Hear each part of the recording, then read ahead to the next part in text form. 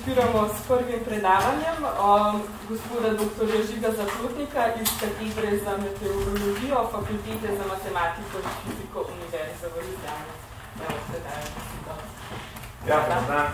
Lep pozdrav sem. Jaz sem Žiga, sem podoktorski raziskovalec na Fakulteti za matematiko in fiziko. Raziskovalno se ukvarjam z simulacijo satelitskih merištev v numeričnem modelu za napovedovanje vremena spremembami atmosferske cirkulacije in še skršno zadevo povezano z meteorologijo oziroma atmosfersko fiziko. Danes vam bom povedal nekaj o fiziki podnebnih sprememb. Zdaj, zakaj bi sploh želeli to vedeti? Zakaj nas zanima? Zakaj se podnebne spremembe dogajajo? Zdaj, verjetno se vsi tukaj strinjamo, da se dogajajo. Ampak, če želimo, če želimo zares dobro vedeti, zakaj so neki ukrepi potrebni, zakaj so neki odzivi na to potrebni. Potem moramo točno razumeti, zakaj se dogaja. Namreč, že pretekla, oziroma še vedno trajajoča epidemija nam je pokazala, kako pomembna je komunikacija. Kako pomemben je, da se zavedamo, zakaj se zadeve dogaja, zakaj je dinamika taka, kot je. Uh, ker le tako ne, preprečimo razna širjenja zarod, uh, lažnih informacij in tako naprej. Zato je tako pomemben, da razumemo, zakaj se dogaja. In upam, da bom z današnjim predavanjem kakšno tenčico pri tem razumevanju odstranil. Začel bom s tem, uh, kakšna je pozicija Zemlje v Sončju nekaj o sevanju in pa o časovnih variacijah sevanja sonca. Izkazala se bo, da je to zelo pomembno za podnebne cikle. Potem bomo nekaj povedali o zračju, o njegovi sestavi in kaj sploh pomeni toplogredni plin. In zakaj toplogredni plin sploh je toplogredni plin? Kaj so tiste lastnosti teh plinov v atmosferi? Čeprav so zelo resni, ki nam omogočajo, prvič, da je življenje na Zemlji, zdaj nam pa delajo težave v prevelikih koncentracijah, oziroma težave, eh, naša civilizacija je pač prilagojena na dotedanje razmere. Na nove se bo pa potrebno prilagoditi, oziroma jih v čim večji meri blažiti. Nekaj bomo povedal o spreminjanju podnebja, navedem nekaj nedvoumnih dokazov uh, za krivdo človeka, oziroma za to, da je naraščanje koncentracije ogljivkovega dioksida v atmosferi posledica človeškega vpliva in pa hkrati, zakaj je te povečane emisije oziroma povečana koncentracija toplogrednih plinov v zraku povzroči ogrevanje. Potem bomo nekaj povedali o obetih, ključo bom pa z nekaj sklepnimi mislimi. Zdaj, vsa telesa sevajo. Ne?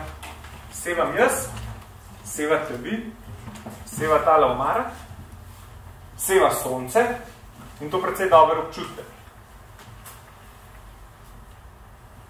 Sonce prvič seva vidno svetlobo. Ne, vsako svetlobo lahko razdelimo, oziroma vsako sevanje lahko razdelimo v spektr. To pomeni, sevanje sonca ne, sestavlja svetloba mnogih valovnih dolžin od vidne svetlobe, tukaj narisane z mauričnimi barvami, do ultraviolične svetlobe. To je tista, ki nas poleti v peče. Ne? Visoko energijska, kratko valovna, ne prodre v podkožje, nam pa poškoduje povrhnico. Do infrardečega sevanja, z dolgimi valovnimi dolžinami, ki prodre globoko, v naše telo in ga čutimo. Infrardeče sevanje čutimo. Če imate doma radiator, lahko čutite, če ga ste z roko blizu infrardeče sevanje. Če imate kaminsko peč, lahko čutite še bolj. In seveda tudi na sonce, ko se postavimo, čutimo infrardeče sevanje. Zdaj,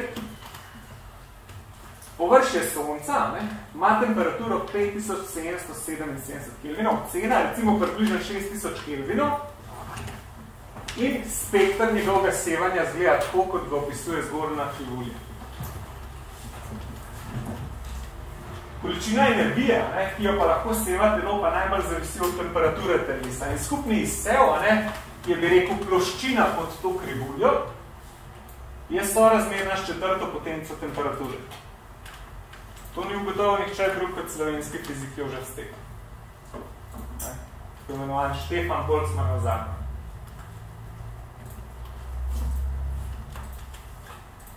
Še nekaj v sevanju. Valovna dolžina, pri kateri telo izseva največ, ne? to pa določa tako imenovan Vienov zakon, če se mogoče spomnite fizike iz srednje šole, je pa sora, obratno sorazmernost temperaturo. Ne? Torej, više, ko je temperatura, pri nižji valovni dolžini imamo maksimum. Kar lepo vidimo tukaj. Nižja temperatura, maksimum izsevajo pri višji valovni dolžini, potem, ko povečujemo temperaturo, gremo proti vedno manjšim valovnim dolžinom. No in to seveda tudi določa barvo telesa. Ne? Recimo neka modra neutronska zvezda, je zelo, ima zelo, zelo vročo površino. Naše sonce ne, ima površino tako, belkasto oziroma rumenkasto. Lava ima temperaturo približno 1000 kelvinov in njena barva zgleda takole. Se pravi, temperatura telesa ne, tudi hkrati določa barvo žarenja ko si lahko predstavljamo poenostavljeno. Ja, zdaj bomo osvojili, se pravi, to je v prvi tak fizikalen koncept, ki je pomemben za naše nadaljevanje. Več hudga, če vsega niste razumeli, ali pa če rečete mogoče, ha, to pa se to pa mogoče ni to pomembno, ne, ampak izkazalo se bo v nadaljevanju, da, da je zelo pomembno za razumevanje tega, kaj se dogaja v našem ozračju in zakaj se dogajajo podnebne spremembe. Poglejmo zdaj sevanje. Sonce predpostavimo, da seva z neko močjo P. Ne? In na razdalji R se ta moč P enakomerno razporedi po površini krogle z radijem R. In njena površina je 4πr na kvadrat. Kako zdaj pojema sevanje v prostoru? Ha, poglejmo.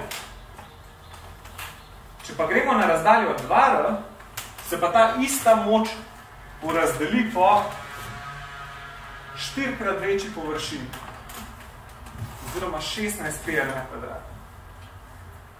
Ne? Kaj nam to pove? To nam pove, da gostota energijskega toka z razdaljo od Sonca upada s kvadratom razdalje. Bolj, smo preč od Sonca, šipkejše je sončno sevanje. In sicer upada to sevanje s kvadratom razdalje. Eh, Zemlja se nahaja raven na območju, kjer je energijski tok Sonca tak, da nam omogoča življenje. Takih pasov je dokaj malo. Ne? Recimo neka Venera je preblizu, pa tudi sestava njene atmosfere je drugačna. Mars je že nekoliko predeleč, pa seveda je tudi sestava drugačna.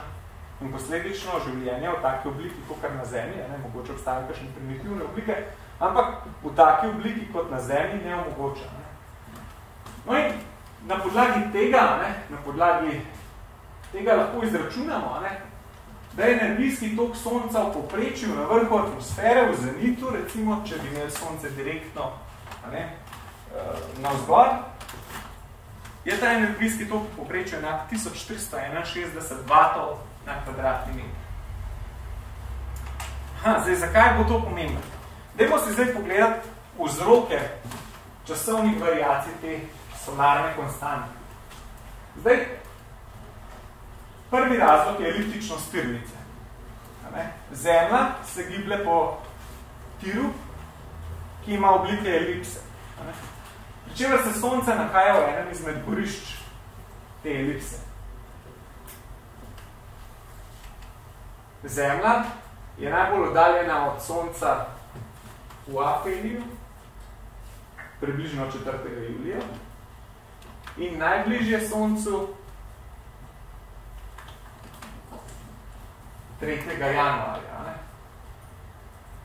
In posledica tega je, da gostota energijskega toka v zenitu takole varira med letom. Ne, gostota energijskega toka je najmočnejša v zimi, pa najšipkejša po leti. Aha, po zimi je pa proti soncu obrnjena južna polobla. A drži? Severna pa je proč od sonca. To pomeni, da je trenutna konfiguracija taka, da se amplificirajo v smislu energijskega toka razlike med poletjem in zimo na južni polobli in nekako zmanjšujejo, oziroma so manjše razlike med zimo in poletjem v smislu energijskega toka na severni polobli. Zdaj, drug vzrok variacij solarne konstante je sončeva aktivnost. Sončeva aktivnost se spreminja, pri čemer je najkrajša ta kvazi perioda približno 11 let. In tukaj vidimo sončeve cikle. Ne? Pri čemer je na vertikalni osi število 5, tukaj pa imamo leta od 1913, pa tukaj 2019 in tukaj projekcija do leta 2031. Trenutno oziroma To je bilo stanje pred enim letom in pol, sonce ni imelo pet. Verjetno se je že nekako spremenil, mogoče kdo ve. Hkrati pa vemo, da je število sončevih pet pozitivno korelirano z gostoto energijskega toka na vrhu atmosfere. To pomeni, večje kot je število pet, večje je gostota energijskega toka. Zdaj pa, če pogledamo, recimo 11-letno drseče povprečje, pa vidimo, da pada že od leta 1990 dalje. To pomeni, sončeva aktivnost v zadnjih 30 letih upada. Temperature naraščajo. Sončeva aktivnost upada, temperature naraščajo. Eh, če vam bo kdo rekel, da je vzrok za nedavne povišanje, nedavno povišanje temperature povečana sončna aktivnost, ne, ga lahko precej preprosto demantirati. No in ti cikli ne, ustrezajo variacijam z amplitudo približno 0,5 W na kvadraten meter.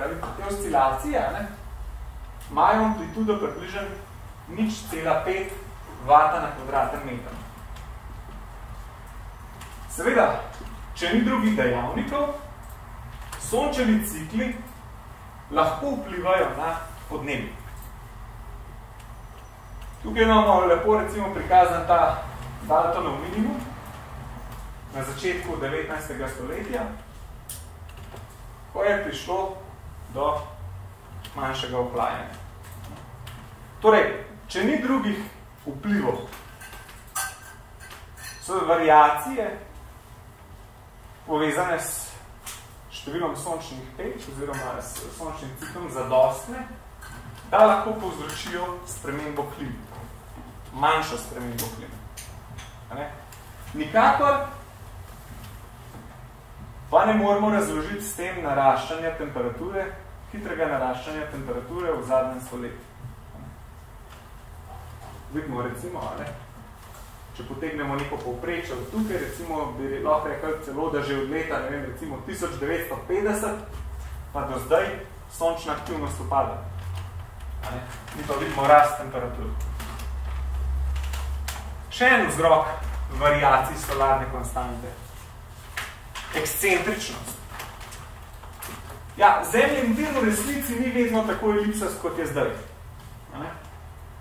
Trenutno ekscentričnost pada in približno čez 27 tisoč let bo zemljina krožnica skoraj, bo zemljina, bo zemljina tirnica skoraj krožnica.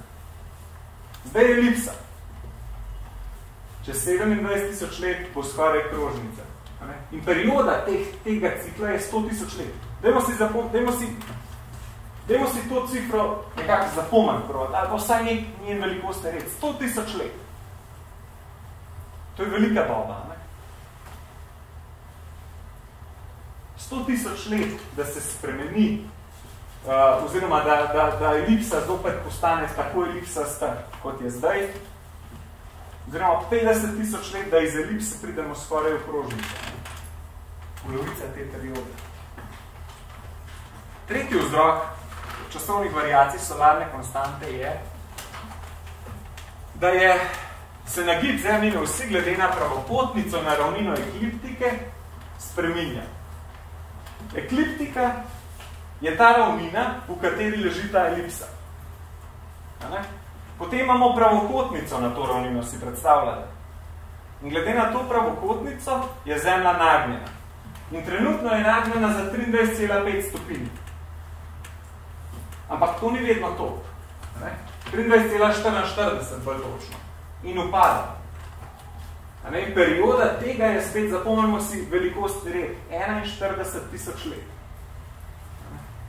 To pomeni zem, eh, prav, eh, ta kot se zdaj nekoliko zmanjšuje. Ne?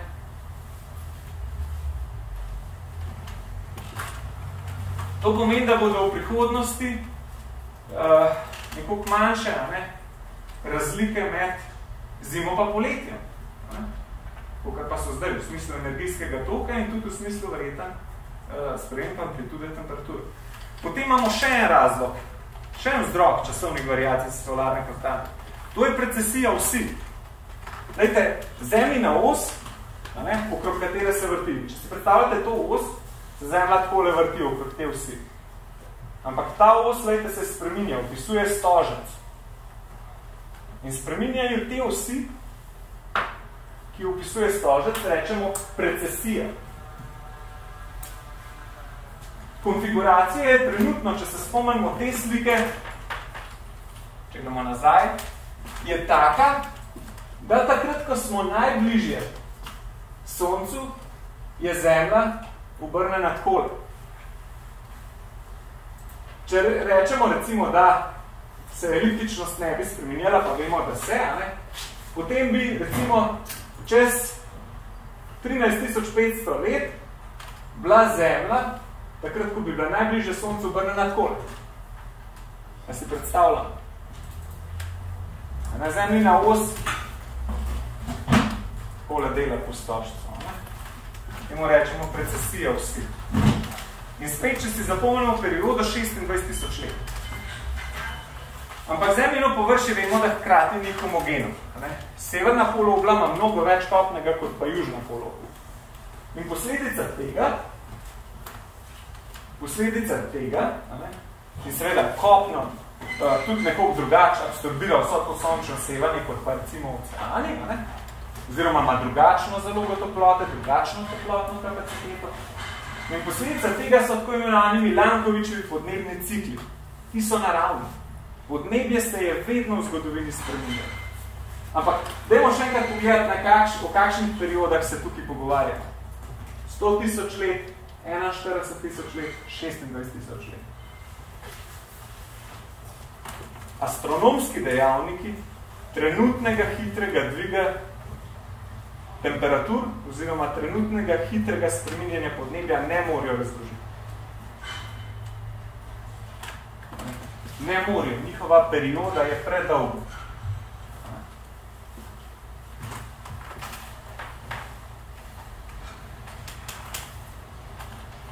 Dajmo si pogledati mogoče energijsko bilanco Zemlje brez zrača. Zemlja veliko večino sevanja preme od Sonca. In Poprečni energijski tok sončevega sevanja je, smo rekli, 1461 vatov na kvadratni meter. Kaj pa drugi vpliv? Lejte, uh, francoski matematik in fizik, uh, da sem že povedal, francoski, Joseph Fourier, Poznate ga recimo po hitri Fourijerovi transformaciji. To je osnova vsake miške, ki jo imate. Vsake optične miške. Uh, to je tudi osnova mnogih uh, tekoče kristalnih displejev. No, Fourijerova transformacija, to pomeni vsako funkcijo, lahko zapišemo kot vsoto valov z različnimi valovnimi družinami, je tudi on pogrunto. Joseph Fourier, francoski matematik in fizik, je v začetku oziroma v prvi polovici 19. stoletja gledal, uh, kako se spreminja v najglobih rudnikih temperature. In ugotovo je sledeče. Ko smo blizu površja, ne, imamo še, vidimo v, uh, v tleh, ne, recimo na 5 cm globine, vidimo dnevni cikl. Ne, dnevni hod temperature. Seveda nekoliko zamakne, nekaj fazen ga zamika, pa nekoliko zmanjša. Ne. Potem, ko gremo globje, ne, vidimo počas že sezonski cikl. Zdaj pa, on je pa gledal na velike globine, recimo. In ugotovo je, da je temperatura na večji globini že nekoliko večja, kot temperatura na manjši globini. To pomeni, tukaj je, je temperatura večja kot pa tukaj. To pomeni, da mora biti nek toplotni tok. Od tukaj, kaj je višja temperatura, sem ki nižja temperatura. No in na podlagi tega ne, je ugotovo, oziroma je lahko ocenil toplotni tok iz notranjosti zemlje na vzven. In ugotovo je, da je napram sončevemu sevanju zanemarljiv. Primerjajmo. Tok sončevega sevanja 1461 vatov na kvadratni meter, pa rekli smo plus minus recimo 0,5 vata na kvadratni meter zaradi variacij, zaradi sončevih pek. Tukaj imamo vpliv 0,087 vata na kvadratni meter. Potem druga stvar, kozmično sevanje. Nič cela, nič, nič 3 vata na kvadratni meter. Kozmično sevanje je sevanje vseh drugih nebesnih telesov. Zvest, kopic zvest v galaksijah. Potem Luna. Luna ima dva, dva vpliva. En vpliv je odboj sončeve svetlobe, drug vpliv je izsev. Odboj svetlobe recimo pri polni luni znaša nič cela, nič, nič, 3 vata na kvadratni meter. Pri, še enkrat, primerjamo nič cela, nič, nič, 3 s 1461 vati na kvadratni meter. Potem ima pa še izsev. Zakaj? Ja, tudi Luna ima neko temperaturo. Ne? In tudi Luna seva v prostor. Koliko seva mi v prostor, koliko seva ta luč v prostor, koliko seva sonce in koliko seva tudi naša zemlja na vzven. Tudi luna seva. Ampak spet, primerjajte njen vpliv napram poprečnemu energijskemu toku sončevega seva. Zanemarljiv, a se strinjamo. A ne? Vpliv vseh teh je napram sončevemu sevanju zanemarljiv in ga od zdaj naprej ne omenjamo več. Okay? Zdaj, en tak preprost fizikalni izračun nam lahko pove, ne, če predpostavimo, ne, da je energija sevanja, ki, ki ga Zemlja prejme, če te samo, sem jaz ne, slik se zbristal, tako, ne, ja, no pa dajmo še nekaj, preden se lahko izračuna, dajmo še nekaj povedati. Se pravi, poprečen energijski tok sončevega sevanja 1461 vatov na kvadratni meter upada na zemljo. Zemlja nekaj tega sevanja direktno odbije. Odbije ga površje, odbijajo ga plini v atmosferi in odbije ga, odbijajo ga recimo oblako, vodne kapljice, pa aerosoli, trdni delci v atmosferi. Zemlja pa tudi sama izseva toploto. Ne? In zdaj, v ravnovesju, ko se zemlja ne greje in ne hladi, se strinjamo, da verjetno toliko energije, kolikor jo prejme, tudi mora oddati vam. Takrat imamo ravnovesje. Vejte, če toliko energije, kolikor jo jaz prejmem, ali pa toliko toplote, kolikor jo prejmem, oddam tudi ven, potem se moja temperatura ne bo spremenjala. A se strinjamo? Kaj pa, če jo prejmem več, kolikor jo oddam? Se bom segreval, ne? Kaj pa, če jo oddam manj, kolikor jo prejmem? Se bom tudi segreval. če jo pa oddam več, kolikor jo prejmem, ne? se bom pa ohlajal. Ne? Ampak zdaj predpostavimo ravnovesje.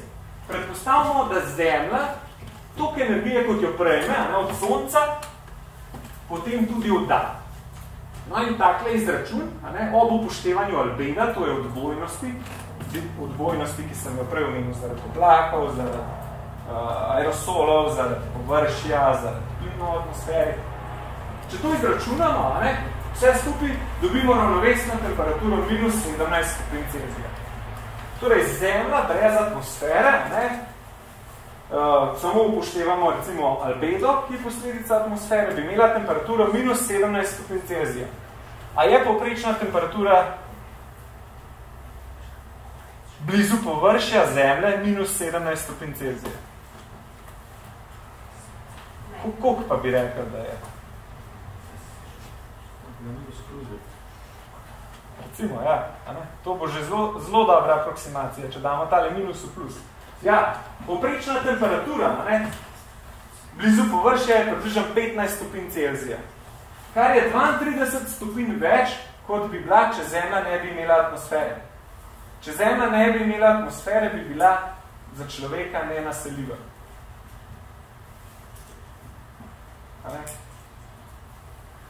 Ampak, kaj pa je tista lastnost atmosfere, ki povzroči, da nekaj tega sevanja, ki ga sicer Zemlja izseva, ne gre kar tako preč od nje. S tem so se seveda ukvarjali tudi raziskovalci v 19. stoletju in že prej omenjeni Joseph Fourier. Fourier je, uh, se je poigraval s tem, z idejo, da ima Zemlja nek, nek izolator, oziroma da je Zemljina atmosfera kot nek izolator, ki preprečuje ne, tej toploti, da bi kar ušla. On se je naslanjal na ideje, švicarskega fizika, meteorologa De Saussera. On je naredil tako, imenoval je hot box. Leseno škatlo z večjimi plastmi stekla. In uh, noter je seveda samo na soncu bilo to poroče, da je voda brez težav zavrela. Tako se je ta škatla oziroma v notranjosti te škatle se to vse gre. In to je napeljal Fourier na misel, da je, da ima tudi zemlja nekaj podobnega. Ne?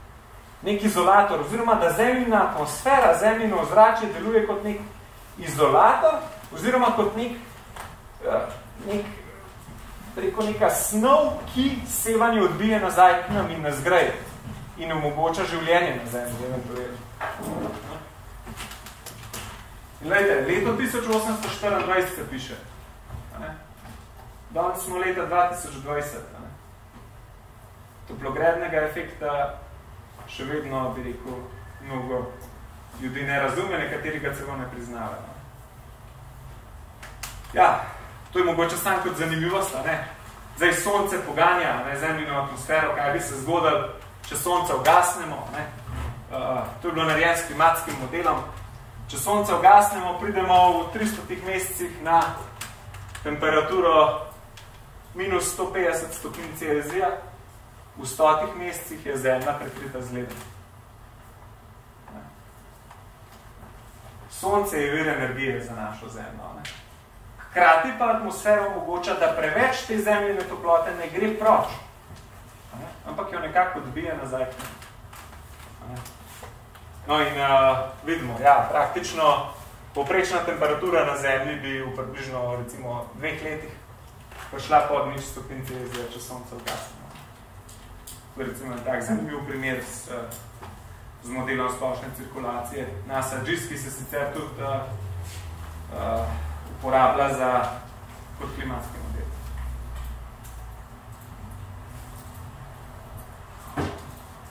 Dajmo si zdaj pogledati sestavo ozračja.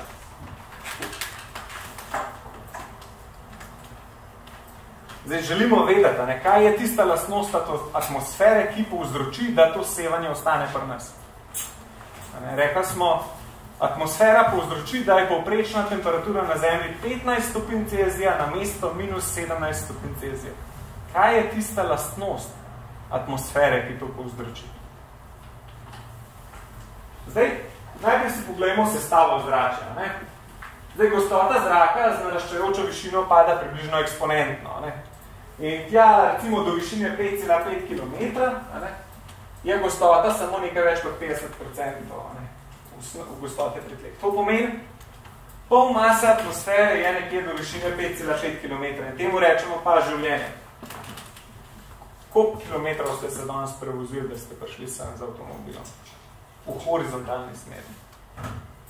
Jaz recimo 25. Nad nami pa samo 5,5 km, ki omogoča življenje. Okay?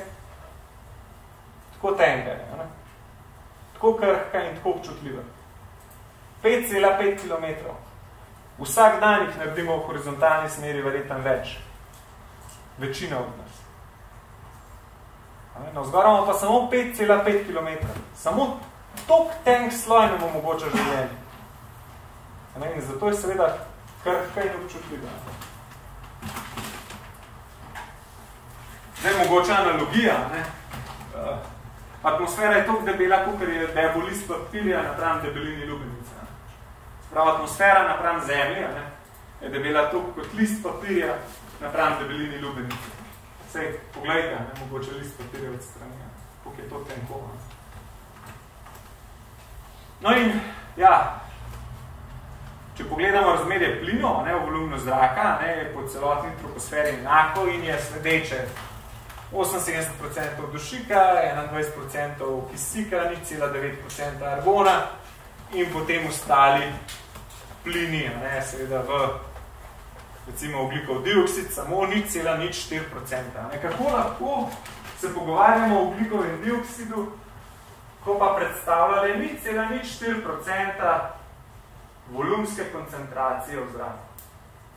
Ne. Kako? Ne? Od milijon molekul, ne, jih je samo 400 uh, oglikovega dioksida, mi pa se vse pogovarjamo o njemu. Ne. To je argument marsikakšnega ne, klimatskega skeptika, da reče, kako pa lahko nek oglikov dioksid. Zdaj, primer, kako pa vas lahko uh, ubije mikrogram strupa, ko imate pa 80, 70, 60 kg? Če se kdaj je to vprašati. Mikrogram najmočnejših strupov, ne, ko se lahko ubije. Ne pa imate 80 kg. Ne? To je zelo dobra analogija za nekoga, ki vas bo vprašal, ja, kako pa lahko, ne, vklikov dioksid, tako malo ga je, kako pa lahko kar bolj prispevaš. Izkaže se, da ni pomembna toliko količina, kot je pomembna kemijska sestava. Ne? Tudi pri strupu ni to pomembna količina, temveč to, kako bo interagiral s celicami v vašem telesu.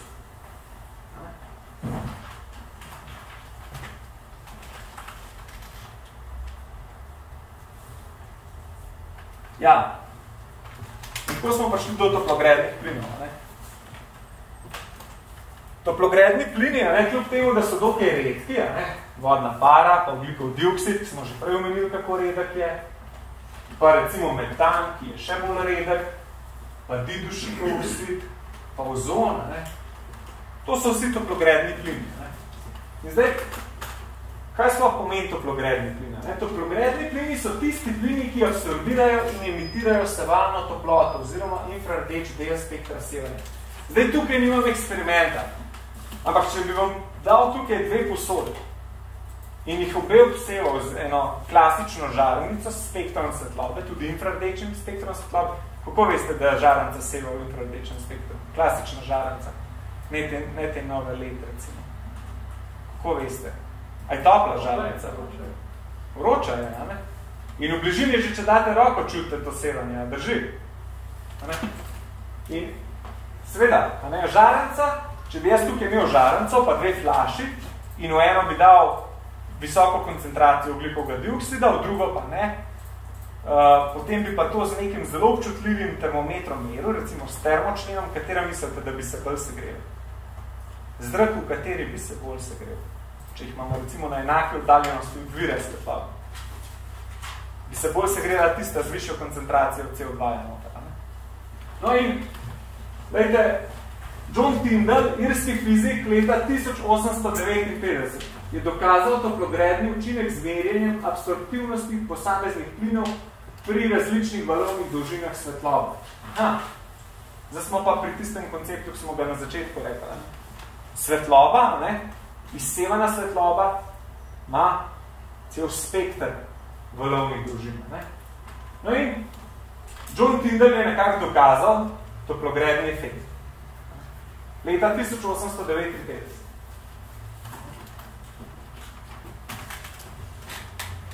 Ja, poleg nekaterih ključnih kemijskih značilnosti, ki jih bomo pogledali zdaj v nadaljevanju, je pa tem plinom skupno to, a ne, da njihove koncentracije v zračju trenutno strmo naraščajo.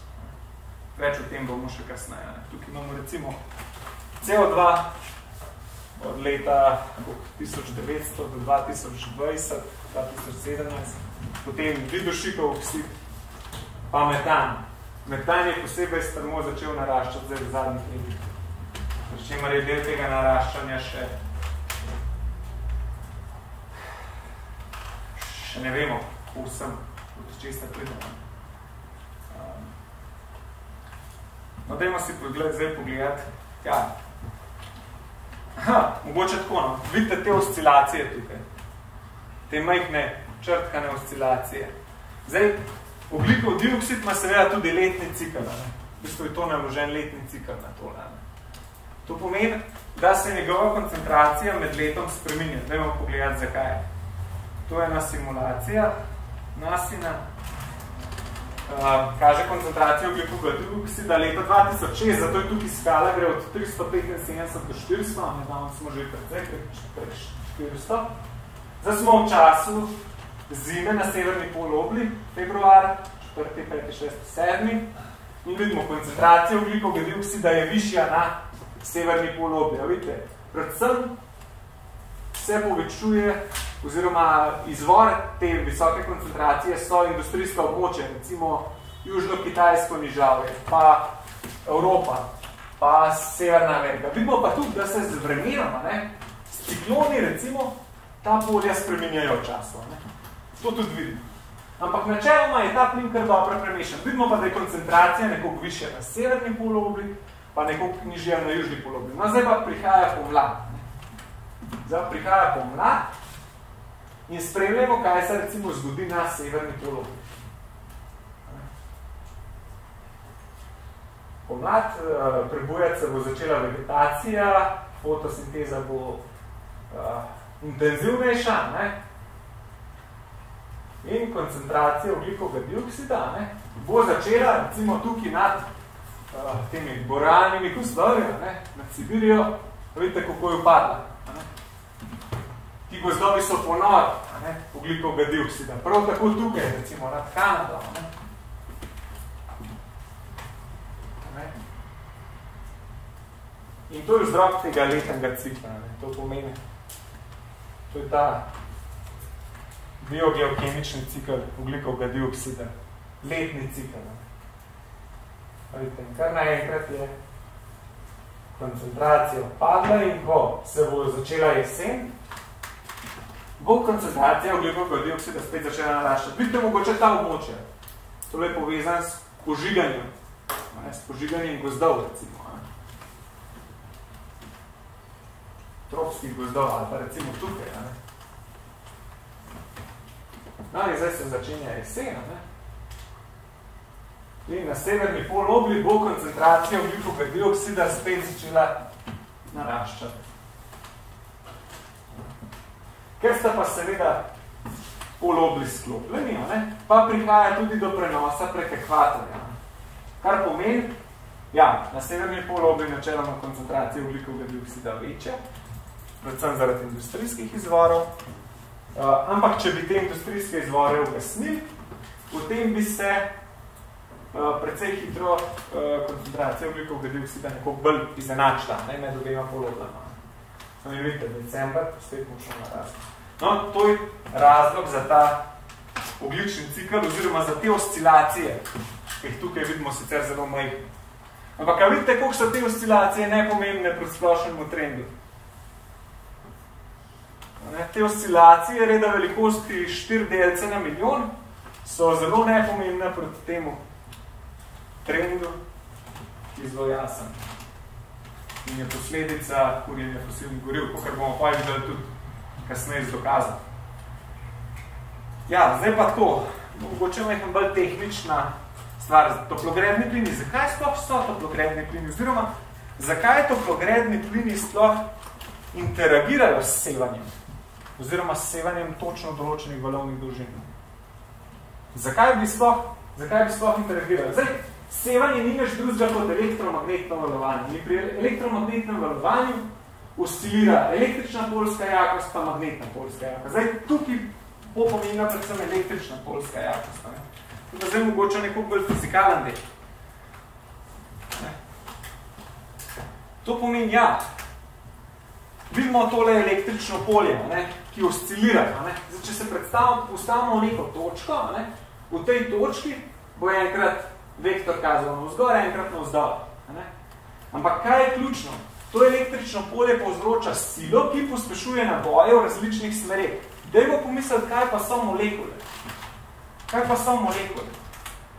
Molekule se stavljajo atom. Ne? In to je, to je recimo neka kemijska oznaka za molekulo CO2. Molekula CO2 je linearna. Ne? Imamo tukaj označena takole dvojna vest med atomom oglika in atomom kisika in tudi zgore. Ne? Ampak pod vplivom električnega polja pod vplivom električnega polja se naboji pride do nekega dipola oziroma pride do prestavitve naboja. Zakaj? Ker električno polje povzroči silo, ki pospešuje različne naboje. Ne? In če imamo tukaj minus, pa tukaj plus, pa tukaj spet minus, a ne? Uh, v smislu, v smislu nabojev, nabojev uh, uh, recimo elektronov, ne? potem električno polje interagira s to molekulo tako, vidite, da se skrajša razdalja med atomom oglika pa atomom kisika, med tema dvema, med tema se pa podaljša. Ne? In posledično nastane takle dipol. To pomeni, naboja se nekako ločta. In ko električno, polsko, eh, ko električno polje spremeni smer, pride do tega. Kaj se dogaja? Pod vplivom elektromagnetnega polja molekula oscilira. In pod vplivom, se pravi pod vplivom sevanja oziroma elektromagnetnega valovanja začne molekula oscilirati. Dajmo si pogledati, kako to zgleda. To zgleda nekako takole. Ne, to je en način oscilacije. Drug je tak, tretje pa tak. Ne. In zdaj pri prvem in tretjem načinu ne, se pride do porazdelitve naboja. Lejte, in kaj v bistvu do česa pride? Ko elektromagnetno valovanje vzbudi to molekulo, molekula zavibrira in spreme energijo tega sevanja. Preide v vzbojeno stanje v višje energijsko stanje, temu rečemo. Ne. Podoben tudi molekula vodne pare, ki je ravno tako toplogredni plin. Dajmo si pogledati njene, njene oscilacije. Ne. In pri tem absorbira sevanje in pride v višje energijsko stanje. Zdaj pa si pogledamo tako. Uh, ja, dajmo še ta tehničen del skozi, potem gremo pa nam neko bolj prijeten, ampak Zakaj je to razlagano? Ne? Zato, ker je tako pomembno, da se zavedamo, kaj se v resnici dogaja. Lejte, ker če vam bo nekdo rekel, uh, ja pa ja, da zakaj pa je oglikov dioksid toplogreden plin? A mu znate razložiti, zakaj pa ni kisik toplogreden plin? Zakaj je samo oglikov dioksid toplogreden plin? Kaj pa pomeni, da preide v više? Ja, to, pre, to pomeni, da, da preide v stanje, v, v neko nestabilno stanje in se želi vrniti nazaj v osnovno stanje. In pri tem spet izseva sevanje, ne? na vzdolj in na vzgore. In lejte, zdaj pa drugače si predstavljamo, ko molekula CO2 nekje v atmosferi prejme sevanje zemlje, bo zavibrirala. A ne? Zavibrirala bo in izsevala z enako verjetnostjo sevanje na vzgor ali na vzdolj polovica na vzgor, polovica na vzdolj. To pomeni, da te molekule nazaj dol sevajo na zemljo. In s tem grejejo dodatno zemljo. To je ta razlika. Če zemlja ne bi imela teh plinov v zračju, bi šlo sevanje recimo nemoteno na vzgor v vesolju. Kdaj se zemlja najbolj ohladi? Recimo, kdaj imate najbolj hladna jutra? A takrat, ko imate uh, zelo vlažno uh, vzračje, pa oblake, ali takrat, kadar imate jasno noč. Kdaj je jutro najbolj hladno? Jasna noč. Kadar je jasna noč. Točno. Zakaj takrat? Ker sevanje ne moteno, oziroma manj moteno, uide v vesolje.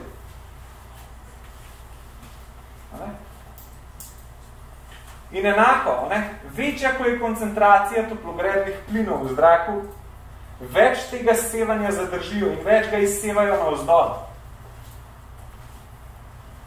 Si predstavljamo? Zemlja seva, ne? zemlja se je segrela od sonca in je topla in tudi sama seva. Dajmo še enkrat, sama seva. To sevanje naleti v zračju na molekule toplogrednih plinov.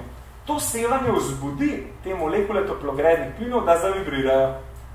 Pri tem sprejmejo to energijo sevanja, ampak so v nekem višjem vzbojenem energijskem stanju, hoče biti v osnovi in to energijo izsevajo na vzgor in tudi na vzdolj.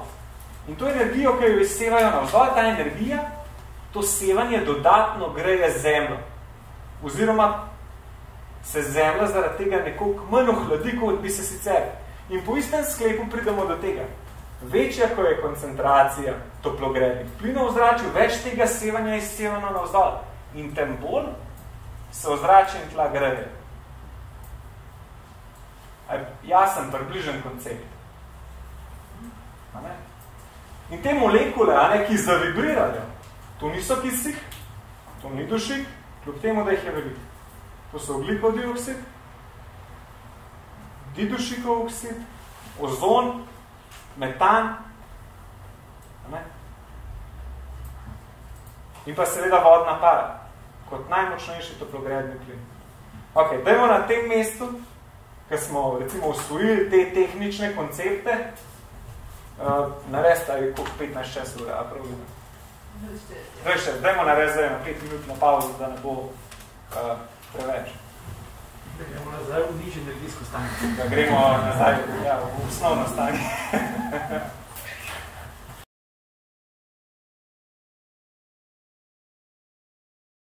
pedagoški zgled toplogrednega efekta. Uh, to je v bistvu physics-based aplikacija, ki da moram povečati, ki prikazuje, kaj, kaj se sploh dogaja. No, pa pogledajmo nekaj. Ne. Vidimo tako imenovane rumene fotone. Vejte, elektromagnetno valovanje si lahko predstavljate kot tok fotonov, takih delčkov, ali pa kot kot, v, uh, kot sevanje. Mislim, kot, se pravi, sevanje si lahko predstavljate kot elektromagnetno valovanje ali pa tudi kot tok fotonov. To ste verjetno umanili pa srednešolski fiziki. Zdaj, v tem primeru a ne, vidimo kaj? Vidimo tok rumenih fotonov, ne? Uh, tok rumenih fotonov, ki so posledica uh, sončnega sevanja, ne?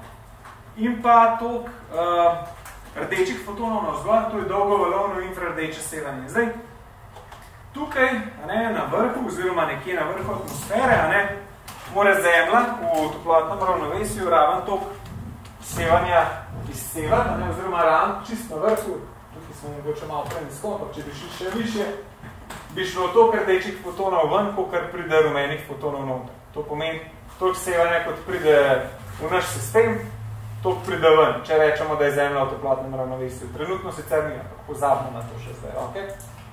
Ne? Zdaj, a vidite, tukaj piše temperatura, aha, pri tleh 16 stopinj Celzija. Zdaj, kaj se zgodi, če mi povečamo, če mi zmanjšamo koncentracijo oglikovega dioksida? Da dajmo jo najprej zmanjšati. Dajte, kar naenkrat vsi ti fotoni, jaz videl, so lahko zapustili v zračje. Ker ni bilo tukaj zadosti teh molekul, ali, ki bi sevanje nazaj dol spet odvijala. Ne? A vidite, ali? Koliko recimo je tukaj manj, manj teh fotonov. To pomeni tudi manj sevanja in v tem primeru praktično vso prijeto sevanje, sevanje tudi zapusti zemljino atmosfero. Ja, vidite tukaj temperaturo, mogoče ne vidite, minus 16, minus 17 stopin Celzija, vas to na kakšen rezultat spominja. To je rezultat, ki smo ga videli prej. To je Zemlja brez atmosfere. Če Zemlja ne bi imela atmosfere, vso prejeto sevanje, a ne, uh, oziroma Zemlja tok sevanja odda kot ga prej. In je temperatura v ravnovesju pri minus 17 stopin Celzija in Zemlja ni naseljiva. Zdaj pa, kaj pa če, kaj pa če mi povečamo močno koncentracijo oglikovega dioksida? Aha, Vete, zdaj se bo pa marskašen tale rdeč fotonček odbil nazaj dol. Dajmo, a ste najdali kakšnega, ki se je odbil nazaj dol? Kaj ni šel gor, klele se je eden odbil, vidite? Probajte eno rdečo pikico spremljati, pa boste videli, da se, videli, da se vmes nek odbije na vzdolj. To povzročijo plast toplogrednih plinov. Ne. To, da se to sevanje, ki izide iz zemlje, odbije nazaj dol. Ne. To pomeni, da tudi več sevanja nazaj sem upade. A je res? Ker se ga več odbije ne, iz atmosfere na vzdolj. Ker se ga več odbije iz atmosfere na vzdolj v tla, to pomeni, da se tla greje. In lejte, poprečna temperatura je zdaj 20 stopinj Celzija. Ta termometer mer to spremembo. Zdaj pa spet eh, zmanjšamo, drastično zmanjšamo koncentracijo oglikovega dioksida. Lejte, in kar naenkrat bojo šli vsi ti fotoni nemoteno skozi atmosfero v vesolje. Zemlja se bo spet ohladila. Pa povečamo,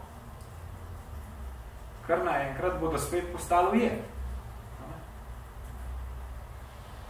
In dejansko se to dogaja v atmosferi. To je zelo poenostavljen prikaz tega, kar se dogaja v atmosferi, ampak uh, fizikalno korektno. Nemo zdaj mogoče to zapreti, to preskočimo. Ja, uh, kot smo rekli, ne, zemljino površje ni v toplotnem ravnovesju. S sevanjem namreč prejmemo več energije, kot pa jo izsevamo, oziroma drugače. Trenutno sklopljen sistem Zemlja in njena atmosfera izseva v vesolje nekoliko manj sevanja, kot pa ga prejme od Sonca. To je posledica naraščajoče koncentracije CO2. Zemlja ravnovesje še išče. In Zemlja se bo ogrevala toliko časa, se bo ogrevala, dokler ne boste ti dve količini enaki. Ne? To pomeni, Zemlja trenutno odda manj, kot pa prejme. Oziroma prejme več, kot odda. To pomeni, sprav prejme več toplote, kot jo odda, to pomeni, da se greje. In to se trenutno dogaja. Zdaj pa,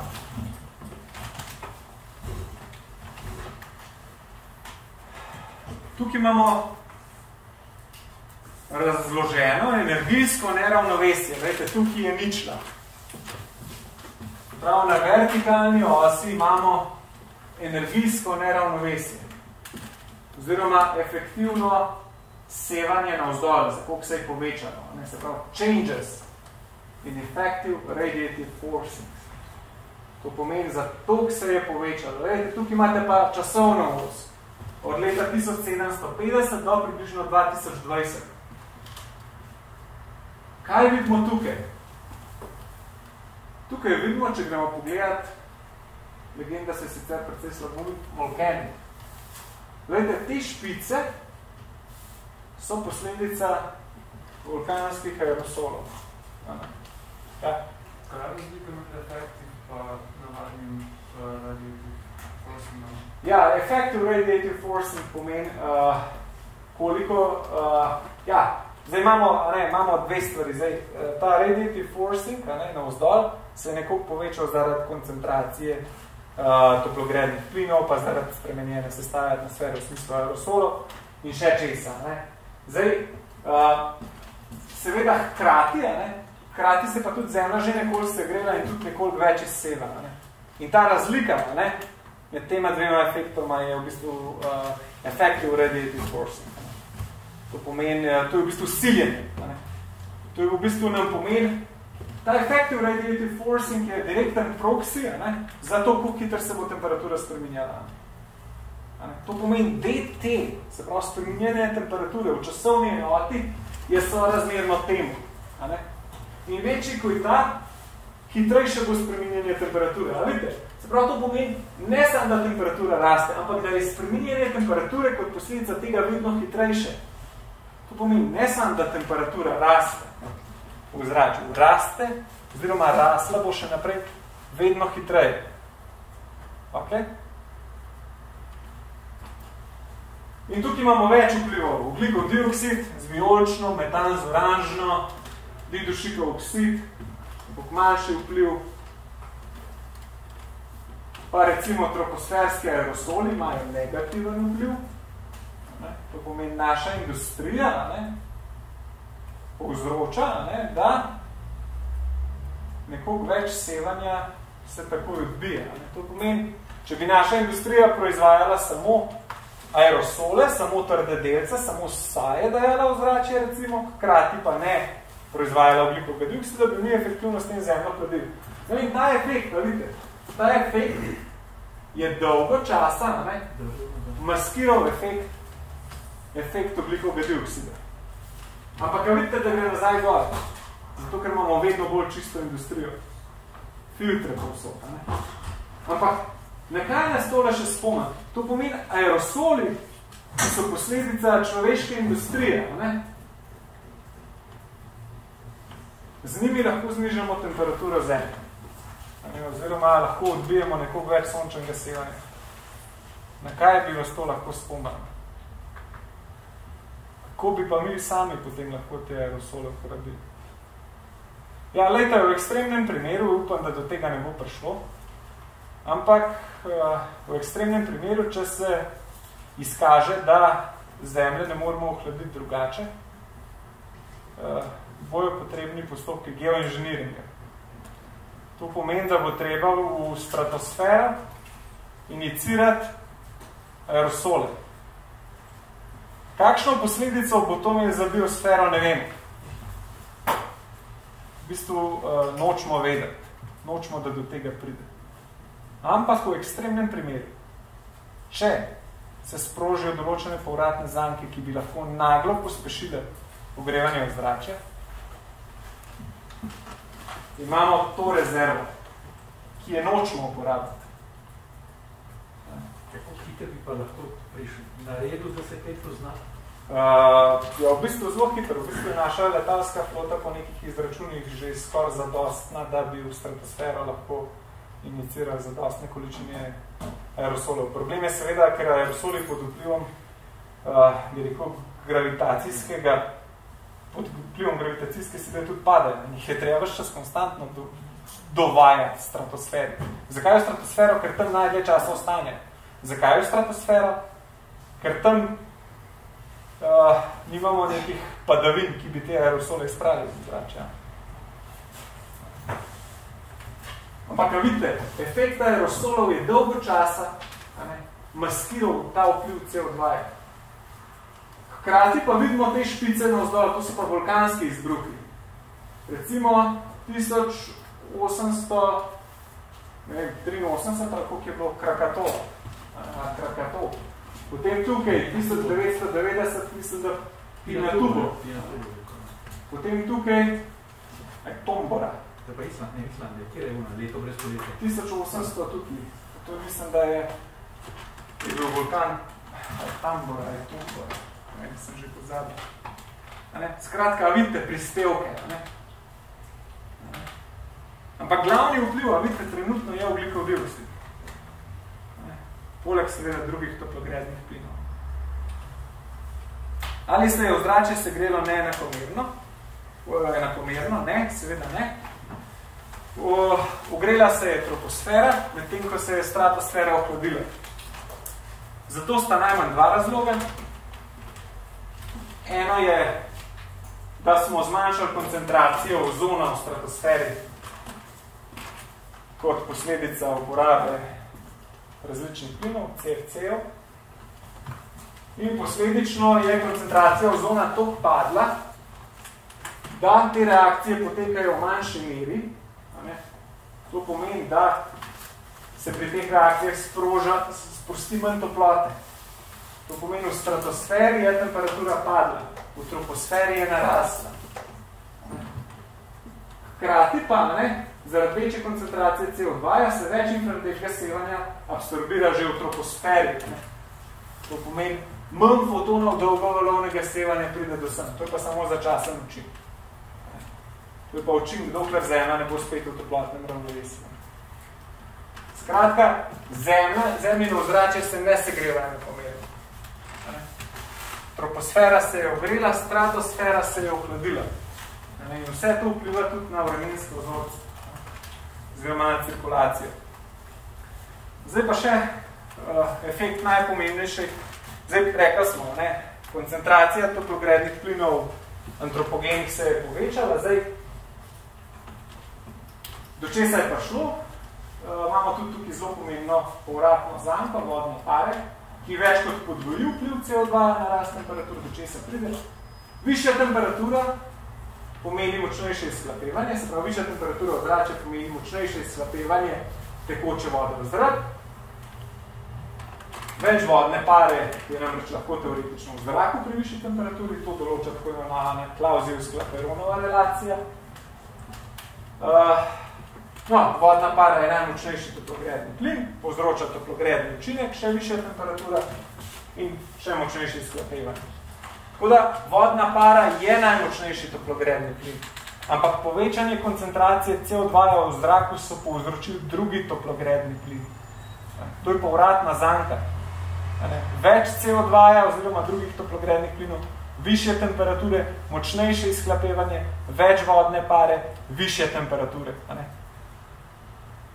Tako da vodna para več kot podvoji učinek CO2. -ja. Kdaj vam bo kdo rekel, CO2 ni kriv? Seveda, CO2 sam ni kriv. Ne? Kriv je v kombinaciji s povratnimi zankami, ki jih je sprožil. Najmočnejša povratna zanka pri tem je vodna para. Lahko si pogledamo, ne, tudi recimo tukaj na tej sliki. Ne. Pogledamo, v katerem delu spektra absorbirajo različni plini in kaj vidite predvsem. Ne, če pogledamo tukaj, kjer zemlja izseva, kateri plini najbolj absorbirajo? Vodna para. Vidite. Posod tukaj je najmočnejši absorber vodna para. Tukaj je ozon, tukaj pa CO2. Pa bomo ta graf preskočili, pa vodna para je najmočnejši toplogredni plin. je voda pa res pogledati, plina je samo v mediji. Kako? Vodna para to pogledni? Je, vodna para je toplogredni plin. Ne, vodna para je toplogredni plin, ki direktno interagira z infrardečem sevanjem. To pomeni infraredeče sevanje podobno kot na CO2, na metan, uh, vpliva tudi na vodno paro. To pomeni povzroči, da molekula zavibrira in da, da, da v bistvu pride do porazdelitve naboja, sevanje se absorbira in vodna para ga potem nazaj dol eh, emitira. Tako da vodna para je prav po definiciji in po kemijskih lastnostih toplogrednih plin, saj interagira z dolgovalovnim infrartečnim sevanjem. Ja, in uh, tukaj še dokaz, ne, recimo sprememba specifične vlažnosti med 1980 in 2018 v spodnji troposferi seveda prišlo do povečanja količine vodne pare v zraku. To bomo kasneje videli, ima tudi druge implikacije. Spremenjenje podnebja. Ja, kaj je nedvoumen dokaz o krivdi človeka? Glejte, oglika ne, se lahko nahaja v naravi v treh različnih stanjih, najmanj treh. Kot oglik 12, kot oglik 13 in oglik 14. Oglik 12 ima 6 protonov in 6 neutronov in tega je največ, 99%. Oglika 13, 6 protonov, 7 neutronov in oglik 14, 6 protonov, 8 neutronov. Oglik 14 je radioaktiven. V zrače je prišel z jedrskimi eksplozijami. Saj nekaj dobrega od njih. Ne? tega je najmanj. Ugljika 13 je nekoliko več, 1,1%, recimo, ali pa 1%. Zdaj pa vprašanje, ne? Ok, povemo še to. C12 in C13 sta stabilna, C14 pa radioaktivno z razpolovnim časom 5730 let. Vprašanje za vas. Koliko oglika 14 je v premogu nafti ali zemljskem plinu, če je razpolovna doba 5730 let? Kaj je razpolovna doba? To pomeni, da razpade. Ne? Niga. Zakaj ne? Koliko so pa fosilne goriva stare? Milijone leta. Ne, to pomeni, ja, oglika C14 v premogu nafte ali zemljskem plinu ni. Ne? In že samo po 50 tisoč letih ne, bi rekel, uh, njegova koncentracija, ne, uh, oziroma razmerje C14 proti C12 pade na 16 100 tisočin. Koliko pa je C13 v premogu nafti ali zemljskem plinu, to je pa neko težje vprašanje, ravno tako malo, ne, ker je uh, počasnejši in težji pri difuziji, težji, počasnejši pri difuziji na listi in ker rastline pri fotosintezi preferirajo za to C12. Uh, Sreda pa fosilna goriva niso naš drugega kot odmrla biosfera. Ne. Uh, tako da tudi C13 v resnici je v fosilnih gorivih zelo malo. No in, če pa pogledamo zdaj te razmerje, ne, te razmerje v zračju pa kaj opazimo? Ne? Da se razmeri C13 proti C12 in C14 proti C12 se obe v zračju zmanjšujeta. Tlele je inverzna skala, zato zgleda, kot da naraščata. Prav, tukaj imamo minus 7,6, pa tukaj minus 8,1. To pomeni, kaj pomeni? S fosilnimi gorivi mi v zračje dodajamo predvsem C12, a drži. A ne? Predvsem C12. C14 upada, pač znano razpolovno dobo, C13 približno ostaja. To pomeni, da če dodajamo v imenovalcu koncentracijo, bo razmerje upadlo, a se strinjate? Če, to, če eh, koncentracijo C12 povečujemo, a bo to razmerje potem upadlo? Če imenovalec povečujemo. A bo to razmerje opadlo? Bo, ne? No in klejamo samo inverzno os, ne vam to, ne vas to ne bega, uh, zato zgleda kot ne narašča. Upadajo. Ne? Ta razmerja upadajo. In to je nedvoumen dokaz, da s tem, ne, da je to povečevanje koncentracije oglikovega dioksida v zraku, posledica kurjenja fosilnih goriv ker fosilna goriva C13 in C14 ne vsebuje. To pomeni, smo zmotili na naraven ogličen cikl z dodajanjem ne, oglika iz fosilnih goriv. Seveda potem imamo drugi dokaz, recimo koncentracija CO2 izmerjena v mehurčkih zraka, recimo v jetih v ledu. To je, so podatki z vrtine Epika Dom C na Antarktiki. Uh, vidimo recimo od danes pa do 400 tisoč let nazaj. In koncentracija oglikovega dioksida je že približno leta 1950 presegla koncentracijo kadarkoli v zadnjih 400 tisoč let. Danes smo pa še precej višje.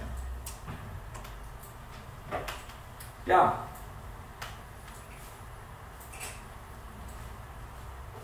Površje zemlje se je v poprečju grelo, ne? Kot posledica za približno 1,2 stopinje napram predindustrijski dobi. Kopenski predeli za nekoliko več, morski predeli za nekoliko manj. Ta slika samo prikazuje ujemanje različnih data setov. Če je mogoče zanimivost, ne, še naprej se bodo kopenski predeli ugrevali bolj kot pa, kot pa predeli nad oceani. In kot še kot druga zanimivost, noči se grejo bolj kot pa dnevi. To se tudi lahko zapomnite. Pa v fizikalne mehanizme, zakaj se to dogaja, tudi ne bi še. Mislim, da nekako uh, bi nam preveč časa vzeli. Ja, to segrevanje tudi ni povsod enakomerno. Ne? Uh, vidimo, Slovenija se nahaja v predeljih, ki se segrevajo nekako bolj. Torej, slika prikazuje trend v stopinjah Celzija na desetletja v zadnjih 40 letih. Slovenija je med predeli, ki se ogrevajo bolj. Potem je tukaj en primer, ki sem ga zrisal za glede premika klimatskih pasov na podlagi ERA Petre analize Evropskega centra za srednjeročno napovedovanje vremena. Gledamo dva, dvometrsko povprečno temperaturo, tukaj imamo narisano za obdobje 1950 do 1959. Sivo je označen pas s temperaturo 18 do 19 stopinj Celzija. Se pravi, s to sivo je označen pas, ker je poprečna letna temperatura 18 do 19 stopinj Celzija. Zdaj, v 60 letih se je ta pas premaknil topljenje vzgora.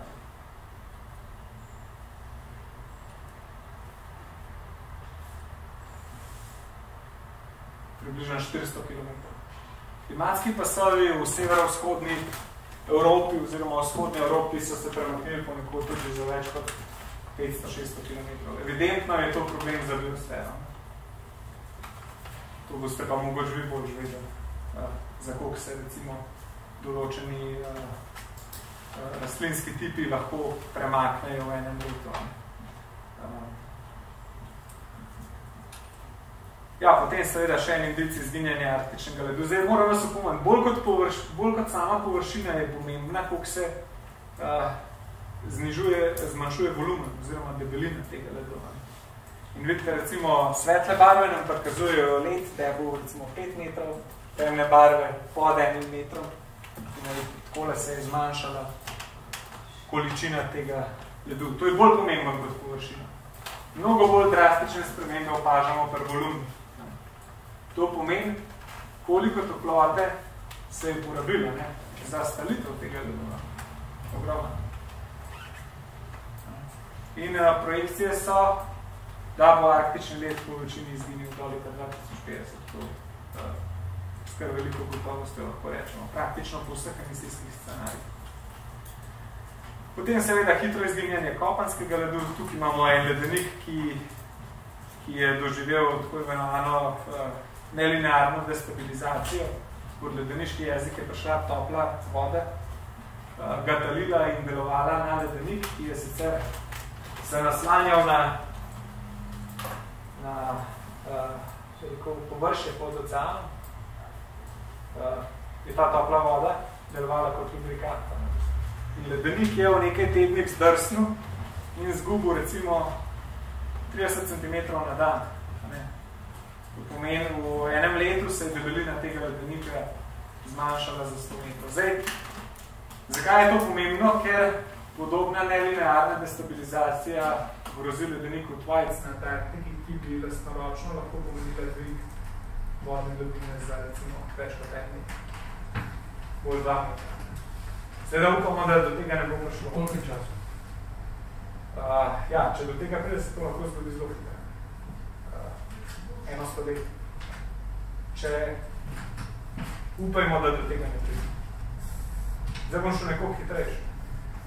Uh, imamo do, do, do polne ure? Ja. Imamo čas. No, potem sprav, uh, projekcije delamo s klimatskimi modeli. Klimatski modeli so neč drugega kot uh, računska koda, ki jo poganjamo na superračunalnikih z možnostjo računanja recimo do 10 na 18 računskih operacij na sekundo um, simulirajo praktično vse, od ogličnega cikla do, do oblakov, sprememb sevanja, sprememb rabeta, uh, seveda naših antropogenih emisij, okocanskih, tako in tako naprej. Uh, zgleda nekako to, seveda, fizikalni opisi z enačbam, to se potem diskretizira, zapiše v računsko kodo in simulira po najmočnejših računalnikih. Danes delamo že digitalne dvojčke, tole je, pre, tole je simulacija, ki so naredila na Evropskem centru za srednjeročno obvladovanje vremena, oziroma drugače. Dajte mi povedati, katera od teh leva ali desna slika, katera je simulacija, katera je pa realno stanje. Ena, ena, en, neki produkt simulacije, drugo je pa satelitska slika. Znate ugotoviti? Simulacija desna slika. Tako je, leva je simulacija, desna je satelitska slika. Uh, to so naredili z modelom naločljivosti 1 km. To pomeni med dvema računskima točkama samo še 1 km. Taka simulacija se recimo operativno za potrebe napovedovanja vremena še ne more izvajati, ker še nimamo dosti mobilnih računalnikov. Ampak ja, delamo se pravi digitalne dvojčke. Digitalne dvojčke zemlje, ki upišajo praktično vse, oziroma veliko večino procesov na zemlji. Ja, in ti klimatski modeli uh, sproducirajo neko vrednost, ki rečemo ECS, oziroma Equilibrium Climate Sensitivity, in ta nam pove, kakšna je občutljivost temperature na dvakratno povečanje CO2. In zdaj s tem zadnjim reportom, IPCCR 6, Assessment Report 6, leta 2021, smo v bistvu zelo zanesljivo vemo, da pri podvojitvi koncentracije oglikovega dioksida bo temperatura na Zemlji narasla nekje med 2,5 in 4 stopine Celzija. Globalna povprečna temperatura pri tleh. Jezi na koliko podvojitev? Podvojitev glede na osnovno predindustrijsko stanje, ki je približno 280 delcev na milijon. Uh, ja, dobro vprašanje. To je podvojitev glede na osnovno stanje. Ker če bi imeli nižje osnovne stanje, potem bi bil ta ICS drugačen. Tako da ja. Um, tako da ja, kako delujejo potem klimatski modeli. Prej sem nekako predstavil klimatski model. V ta klimatski model dajemo različne uh, socialno-ekonomske uh, emisijske poti, ki pridejo noter kot v to črno škatlo ne, in na podlagi tega dobimo projekcijo. Uh, To bi nekako prestočil, hotel sem sam povedati, da so klimatski modeli v preteklosti, prav tisti, ki so dobili dobre podatke, dobre emisijske scenarije, tudi zelo točno napovedali dvig temperatur, kar pomeni, da fizika v teh klimatskih modelih štima. Ne? Seveda pa, če noter damo napačne emisijske scenarije, bo tudi vam prišlo napačna projekcija. To pomeni, fizikalni model je sam poseb dober, ampak negotovost predvsem predstavlja to, po kakšni poti bomo mi hodili. To je pa odvisno od družbenega konsenza, od političnih odločitev in tako naprej. No in uh, to so na podlagi zadnjega Assessment Report 6 projekcije klimatskih modelov za različne emisijske scenarije. Trenutno hodimo nekje med tem dvema. Ne? To pomeni med SSP 2 do 4,5, to je ta effective radiative forcing, ki ste me prej sprašal, pa med 3 in 7,5. Uh, Prav, projekcija je, da če upoštevamo trenutne, trenutne politike, bomo prišli do leta 2100 do dviga 2,7 do 3,1 globalne poprečne temperature, seveda z neko negotovostjo. Zdaj, obljube, ne, ki se v preteklosti pogosto niso izpolnile, če bi se teh obljub dejansko držali, bi prišli do nekih 2,4 stopinje Celzija. Zelo optimistične so praktično te, da nekako pridemo do dveh stopin Celzija. Potem imamo pa še recimo uh, uh, Paris Agreement, pariški sporazum, uh, emisijski scenarij, po katerem bi prišli, oziroma ne bi v nobenem obdobju do leta 2100 presegali dveh stopin Celzija. Uh, tale spodan se nam je pa že umat. To pomeni praktično niti teoretično, oziroma le še teoretično, lahko v polnem izklopu celotne ekonomije pridemo do tega, da se zemlja se gre le za 1,5 Pozor, že zdaj smo na 1,1 do 1,2. Uh, tako da ta cilj nam je že praktično nedosegljiv in uh, nažalost, lahko nam ga pozal. Mm. To je zelo optimističen cilj. To je na podlagi trenutnih zaobljub držav širom sveta, to je pa na podlagi trenutnih politik. Zdaj, kaj je pomemben? Teh 2,7 do 3,1 stopinje Celzija dviga globalne povprečne temperature. Veste, to je globalna povprečna temperatura. To pomeni za Slovenijo recimo tam 4 do 4,5 stopinje dviga globalne povprečne temperature. Super bomo rekli, kaj pa to pomeni? Ja, 4 do 4,5 stopinje Celzija dviga globalne povprečne temperature pomeni spust za približen 700 do 800 metrov.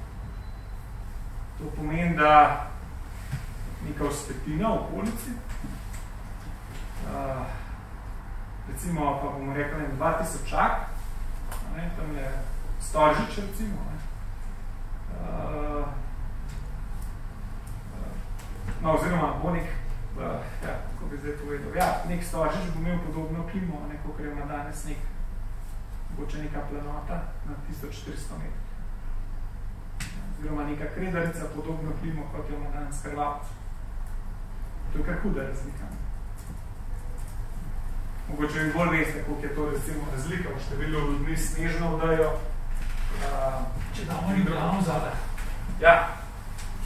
Zdaj, drug problem, ki nastaja pri tem je ta, da bo zaradi bolj sušnih tal bojo maksimum temperaturni maksimum, tukaj se ne vidi dobro, ta slika je slaba, se upravičujem. Ampak kaj kaže? Na x osi imamo zvišanje globalne povprečne temperature, na y osi imamo zvišanje absolutnih maksimumov.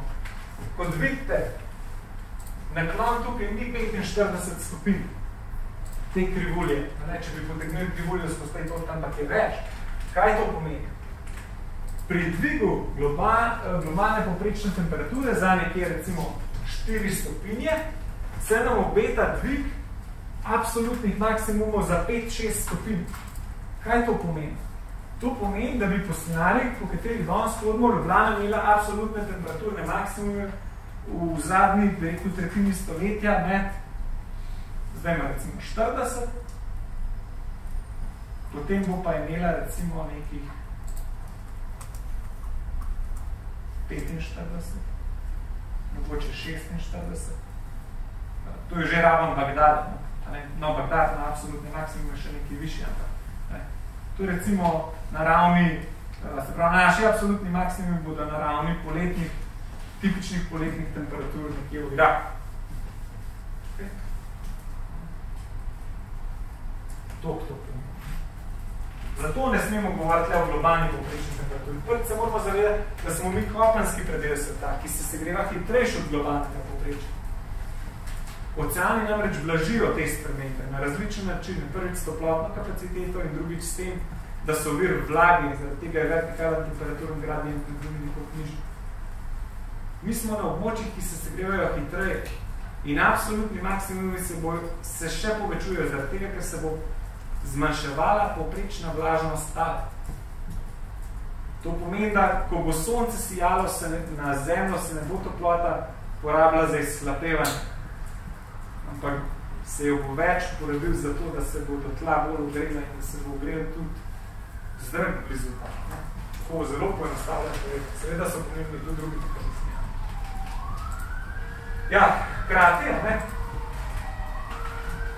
Krati pa prej smo rekli, prej smo gledali en graf, ki smo gledali, da se je koncentracija vodne pare v zračju povečala.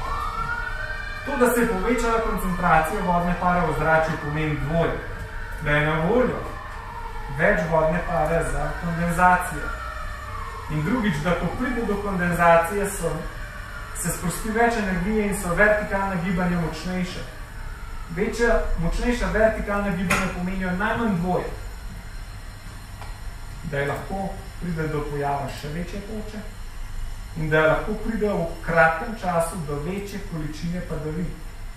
In vsi klimatski modeli zaenkrat so pravilno napovedali, da bo pri višji koncentraciji ugljikove dioksida v zraku, pri višjih temperaturah, več padavin se sprostel v obliki ekstremnih padavinskih dogodkov v kratkem času. In lejte, dogodek, ko je bil pred recimo mesecem 14 dnevi približno Europlan, tak dogodek bo za vsako stopinjo ogrevanja dvakrat verjetnejši.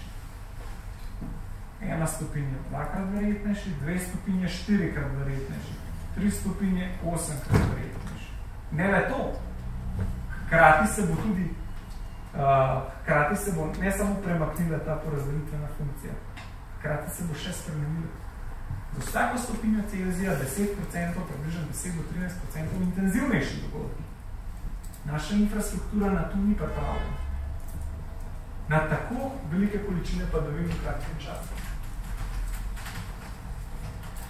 Zdaj seveda, prihaja tudi do uh, sprememb atmosferske cirkulacije, to je ena slika iz enega mojega članka, ki trenutno v recenziji v Journal of Time.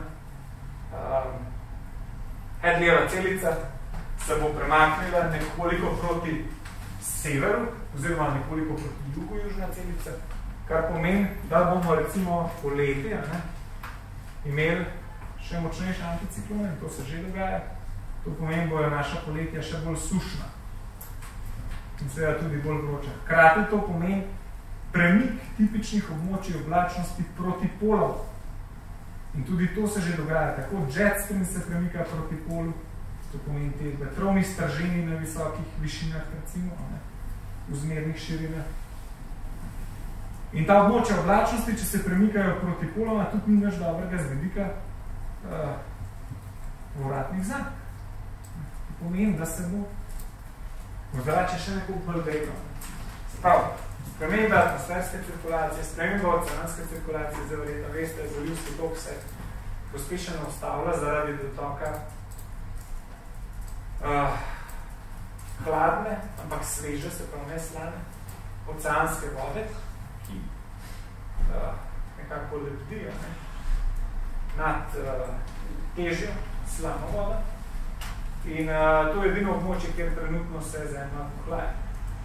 Zaradi italjenja ledu, gledajte, to ni nekaj dobrega. To je posledica taljenja arktičnega in grenlandskega ledu. In posledično, to, to smo opazili na več načinov, ne? oziroma smo, seveda moji kolegi, jaz se s tem ne ukvarjam, da se zalivski to postavlja. To bi lahko bilo nekako bolj za Evropo, ampak po drug stran precej slabše za, za neko, recimo, Ameriko, Kanado. Spremenjajo se tudi vremenski vzorci, pogostejše so predvsem poletni bloknih situacije, to pomeni, ko pride do situacije, ko nad nami ustraja isti tip vremenarja. A ti novi se vse to scenarij tudi odločujejo, zalivski tok. Ja, ja, ja. ja. To, to tudi klimatski modeli že opazvajo.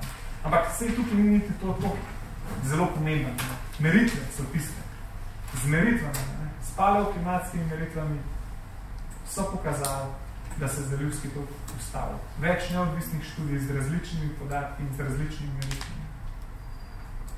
Ja, to pa, ne, te, te pogostejše blokne situacije pa privedejo ne, do zadev, kot smo letos, oziroma na, ja, polet gledali v Kanadi, ne, ko so določene postaje podrle temperaturne rekorde za 10 stopinj Celzija. Pride do stacionarne situacije z velikimi anomalijami, po nekje topla anomalija, se tukaj kaže hitrost meridionalnega vetra, ne. tukaj imamo močen meridionalni veter uh, na vzgor, tukaj na vzdolj. No, to je recimo situacija dosti tipična, pri kateri bi prišlo do takih temperaturnih rekordov na zahodu Kanade, kot je prišlo letos.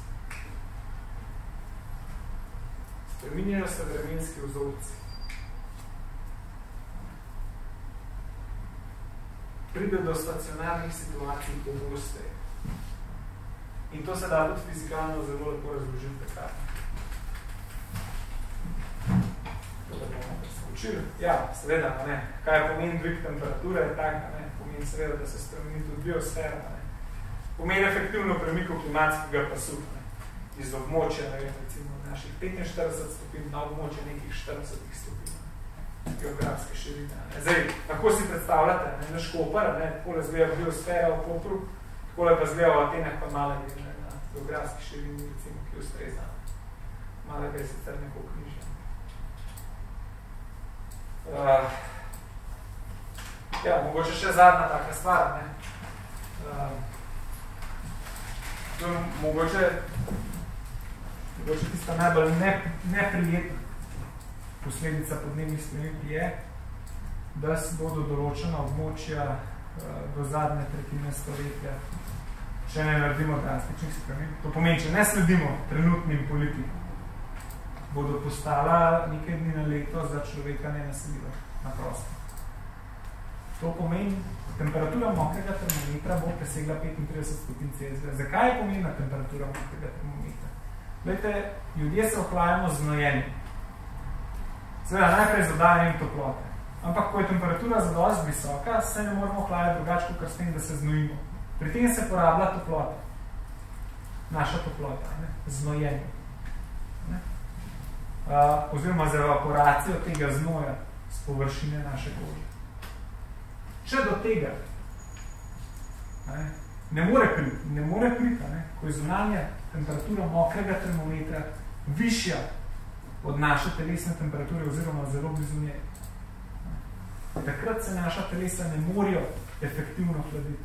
Če se naše telo ne more ohladiti, pride do spontanega vročinskega udara, ki seveda vodi v smrt ne, po nekem času.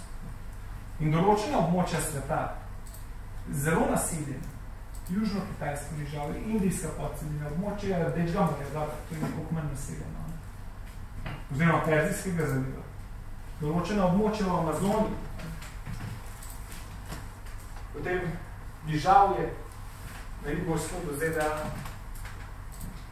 Ta območja bodo za nekaj dni na leto za človeka postala nenaseljiva. Zdaj nočem špekulirati, ampak mislim si, da bi to verjetno lahko vodil do velikih migracij.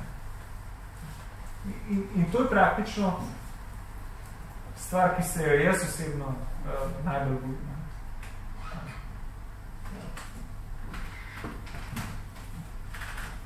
Zdaj, tukaj sicer narisam po rekel, dosti neverjetna scenarij v business as usual, ampak uh, podobne rezultate dobimo tudi za nekoliko milejše scenarije.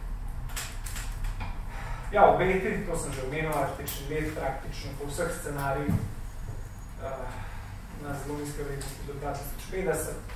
Rast gladine morja po vseh scenarijih nekje med pol metra do enega metra do konca stoletja. Ampak, gledajte, tudi po najbolj učinkovitem scenariju smo našim zanamcem zvišali gladino morja za do nekaj negotovosti celo do 3 To pomeni, da smo praktično vsa večja mesta za naše zanamce že potopili. Oziroma v veliki meri potopili. Seveda je tukaj nekaj negotovosti. Poznamo srednjo vrednost, recimo meter pa pol, se pravi vsa večja obalna mesta. Smo jih praktično po najbolj, najbolj ambicioznem scenariju, oziroma po dveh najbolj ambicioznih scenarijih, dele smo teh scenarijev, smo jih že potopili.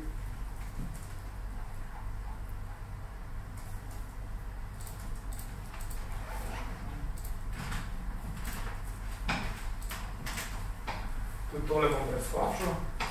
Kaže zgolj to, ne, kako so neki liderski podatki pokazali, kako smo bolj ogroženi. Ja, to je pa mogoče sama Slovenija, naše skupne emisije v kilotonah ekvivalenta CO2. To sliko sem narisal za nastavljajoč portal Podnebnik, ki bo podobno kot sledilnik za podnebne spremembe. In tukaj kaže, recimo, scenarije našega nacionalnega energetskega in podnebnega načrta. To so odbijolične beromene, in pa cilj Evropske komisije Pariški sporozum, 2 stopin, Pariški sporozum 1,5 stopin. A vidite, kakšna je diskrepanca med našimi scenariji vijolična do rumena in pa recimo nekim scenarijem, po katerim lahko pošli do 1,5 stopinje Celsius ali 2 stopin Celsius. Mi smo razvita država. Nerazvite države oziroma države v razvoju nimajo takih Mi smo tisti del sveta, ki bi rekel, bolj na to gleda.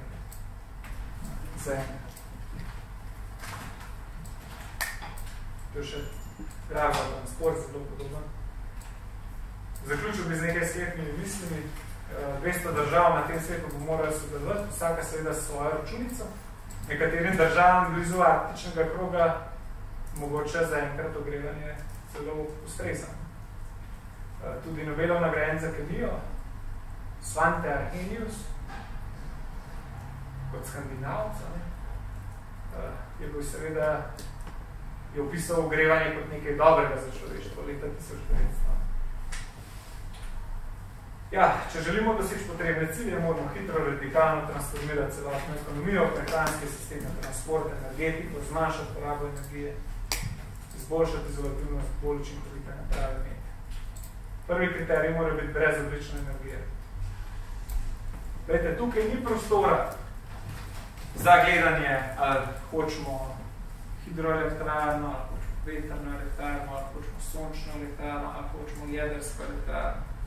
Ni prostora za ideologijo, hočemo obnovljive vire energije, hočemo jedrsko elektrarno. Mi se moramo čim prej razogličati. Ni prostora za to, ali hočemo fuzijo, ali nočemo fuzije, ko bo razvita. Mi se moramo čim prej razogličati.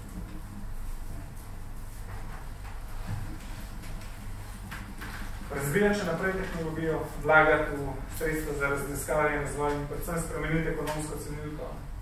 Okolju bo potrebno pripisati ceno. Oglični davek razširi tudi na druge industrije poleg energetike in to Evropska unija z letom 2024 že deloma uvaja. Poleg sistemskih sprememb so pa seveda nujne tudi vedenske spremembe ljudi ne? in te vodijo sistemske spremembe. Ne? To so rekel, zelo naivne, ne? temperatura v stanovanju. To je zelo učinkovit način, kako zmanjšati porabo energije v stanovanju. Ogrevanje sanitarne vode, tudi zelo učinkovit način. Ne? V novih pasivnih hišah, mogoče vam bo zanimiv podatek, večino energije se porabi za ogrevanje vode. Ne? In je še zelo pomemben, da se potem ne, tuširaš 5 minut, da se tuširaš eno uro. Ne? Zakaj v novih pasivnih hišah? Ker so tako dobro izolirani. Da večino energije se niti ne porabi več za ogrevanje, ampak za ogrevanje sanitarne vode. Potem prehranske navade. Niti ni to pomembno, kot je hrana, po zadnjih študijah. Bolje pomembno, kakšna je ta hrana. Verjetno se bomo mogli kot civilizacija, bomo mogli nekako zmanjšati uživanje mesa. Žal, ne? to tako je. Pa seveda spremembe sistema vrednot, se zaveda, da je planet omejen, da ne omogoča večne rasti.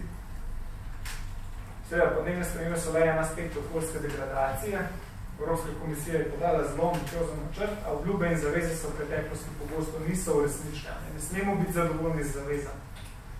Um, kot zadnjo pa apel vam, mladi, nam, da zahtevamo spremembe. Da podpremo tiste opcije, ki obljubljajo te spremembe. Gre se za našo prihodnost, vašo prihodnost in prihodnost naših otrok. In uh, jaz se dolgo časa uh, nisem upal oglasiti, uh, pa nisem upal tega nekako javnosti povedati. Uh, mogoče me je to prisililo šele to, uh, ker sem dolgo dve čerke, da sta stari 4 pa 6 let, uh, zaradi katerih uh, mislim pa, da se vsem vreden za to govoriti. Olha as artes, humanos.